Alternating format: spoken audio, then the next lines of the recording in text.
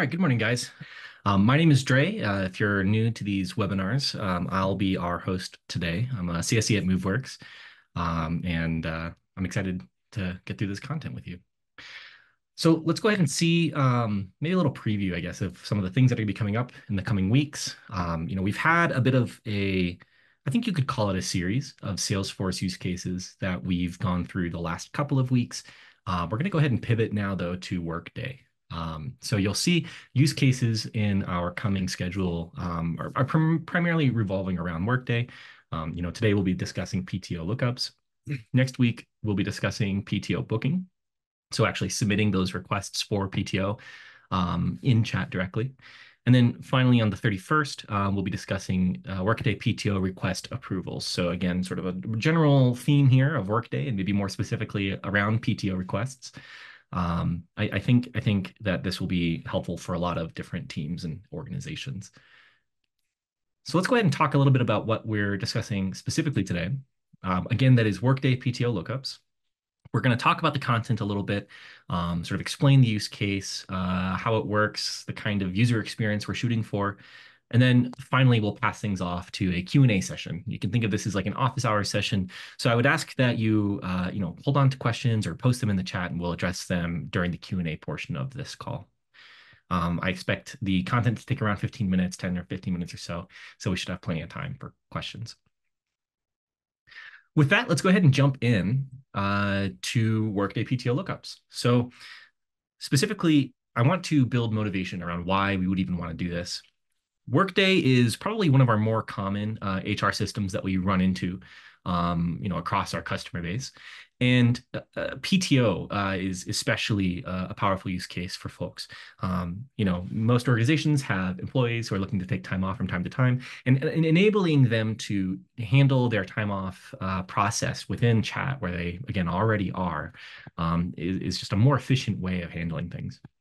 So by enabling Workday PTO lookups, we can save time for employees so that way they can, you know, spend time on more uh, productive tasks. With that, let's look at the user experience that we want to build uh, for this use case. So we have our user here, Gwen, and Gwen comes to the bot and says, can you show me my upcoming PTO? And we want to be able to respond uh, intelligently uh, to that question. So we're going to build a queries use case. Again, the user's coming to the bot to ask this question, and we just need to return that data to, to them directly. There's no additional follow-up questions needed here. Uh, we're going to need to leverage an iPaaS solution or some kind of middle layer automation tool. Um, that could be a custom Python script. That could be something like Workato, which is what we'll use for our demo today. Um, it could be Power Automate. Uh, it could be a ServiceNow, uh, you know, automation. There's there's many many different ways to build this this middle layer automation. But uh, anytime you see iPaaS, just know that right now I'm referring to Workato. It doesn't have to be Workato. So the first step that the queries use case will do uh, once it's triggered is call the iPaaS function, passing as part of that call uh, the user's email. Uh, this is data that's very easy to um, get sort of through our user ingestion, and so it's uh, we have special variables for it to pass to uh, you know other automations. Step two, uh, the iPaaS is then going to use that requester email address to get the user's worker ID in Workday. Um, the Workday APIs largely require you to pass a worker ID, so this is a necessary step, and in fact, a major reason why um, we're using an iPaaS tool today. There are some workarounds. We can talk about this a little bit later, um, but this is probably the, the best way to do it. Step three uh, is once you have that worker ID, we need to pass the worker ID again uh, in the Workday API uh, to get the time off entries of that user. Step four, we need to return those time off entries. So the iPaaS is going to send those back to the queries use case. And then finally, uh, queries will then format the response from the iPaaS tool, which is really just the response from Workday um, for the user, for the requester to read. And you can see the sort of end result here. Um, in Copilot, you would have something formatted kind of like this. It says something along the lines of, you have a pending PTO request, um, so an indication of status from August 12th to August 16th. That's an indication of the time frame uh, for a vacation. That's the type of uh, PTO request. The request is five days. It gives you a sort of breakdown of 40 hours, which is sort of just a nice little extra that Copilot can give us. And uh, it tells you who the approver is. So that's just what we have configured for our specific use case here. Um, of course, uh, the beauty of the queries use case, you can configure any of the return data as something that's eligible for the user to read. So Um, this is this is quite configurable. With that, let's look at the general process, uh, flow of, of how this works. Um, this chat bubble here is representative of the chat. Uh, so the user coming to chat and asking, um, you know, I need to see my upcoming PTO requests. Again, that's going to call a queries workspace use case, which will then pass the user's email address to the iPaaS solution. Today, that's Workato. And it will then get the worker ID by email. The API that Workday provides is their data API, uh, leverages WQL. This allows you to get the worker ID by the user's email address. Once you have the, uh, the worker ID, we need, need to go to a second step in the iPaaS solution. Uh, the sort of second step is, is, is uh, again, a, a, core reason why we're using an iPaaS tool today. And we need to then get worker time off entries. And so we're going to pass the worker ID as part of the path of the API call we're making um, to the absence management API, uh, specifically the time off details uh, entries. We're then going to just get that return and just immediately pass that back to Queries Workspace, where we'll then format the response and then pass that back to the user in the same way that we saw in our user experience diagram a moment ago. So uh, I have this listed as demo, but I first want to show the Workato um, recipe that we have set up. I think that's going to help uh, sort of elucidate how this works. The trigger for our Workato recipe here uh, is an API request. Now, uh, in Workato, you have the ability to do webhooks, um, API request triggers. You also have things like polling and scheduled uh, triggers. But the, the beauty of an API request trigger is that it plugs in very well to um, Creator Studio and it can return an HTTP status, which is important for Creator Studio to know whether or not the process was successful, which is going to dictate sort of how it how it's going to return its answer. Um, so in this case, we have this new API request the only data we're passing in uh, in our request schema is this requester.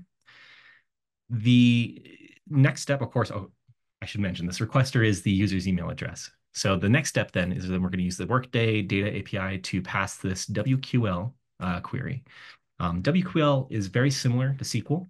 Um, in fact, I would essentially call it SQL, uh, just within Workday, you know.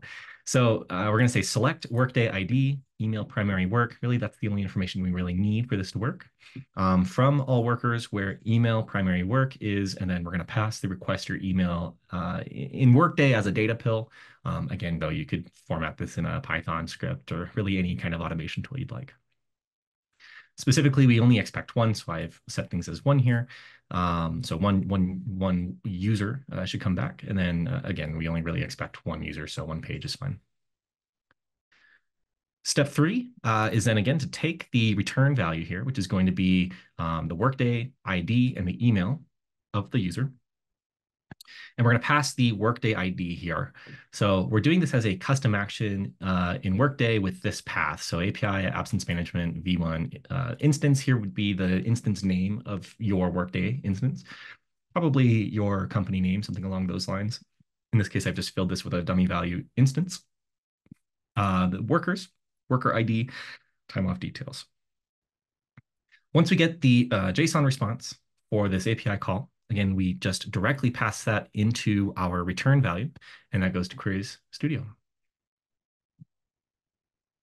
Once in Query Studio, uh, the you know we we organize formatting, we take care of uh, triggering, and this is very similar to any other use case that you might build using uh, a Query Studio. Um, so I'm going to skip over that for today uh, in, in the, in, the, sake of time, and we'll go ahead and look at the uh, demonstration. So I'm going to come to the bot. Uh, you can see I've already started a conversation. I just said hello, just to get some text on the screen. Uh, I'm going to go ahead and ask, uh, you know, can you show me my upcoming PTO uh, PTO? We'll just say PTO. Maybe they're requests, maybe they're already approved. I just want to know what PTO I have coming up. Again, this is going to go ahead and trigger the PTO use case that we have configured, my time off requests, and it's going to return the PTO that I have um, pending. So in this case, you have uh, upcoming PTO requests from August 12th to August 16th for a vacation. Uh, this is really the same text that we saw in our user experience diagram.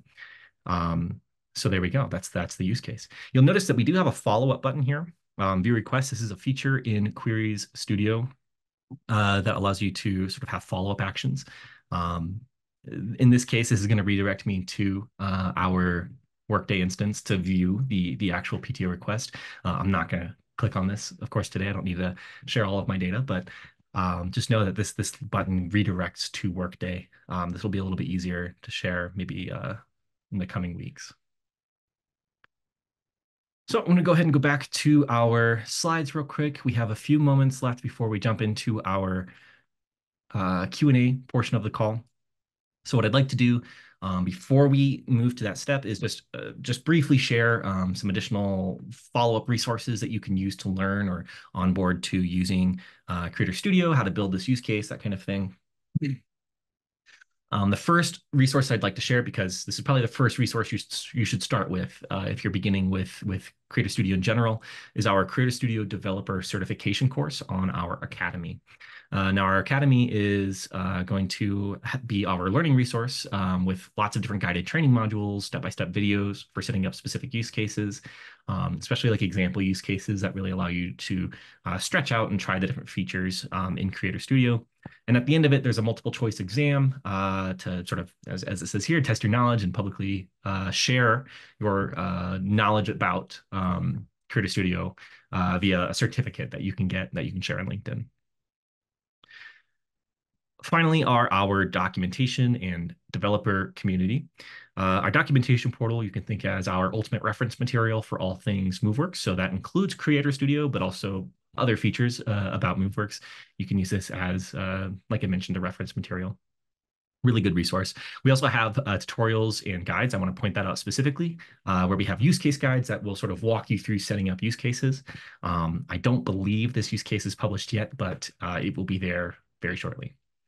Uh, finally, again, is our developer community. Um, this is like a forum where you can go and talk to other customers who are building similar use cases, uh, product managers and engineers who are working on the features that you're leveraging in your use cases, um, as, as well as folks like myself who are just there to answer questions and uh, are, are, just general experts about um, the product in general.